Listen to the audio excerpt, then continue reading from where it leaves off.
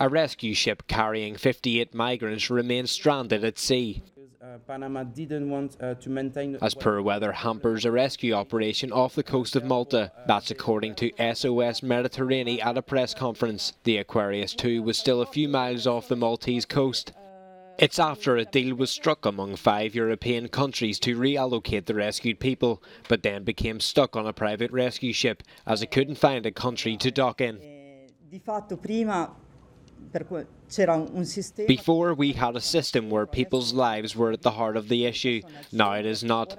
Now people are used a bit like hostages for political discussions. All European governments are responsible for this. Malta says it will send a military boat to take the migrants to shore before they proceed to their other European countries.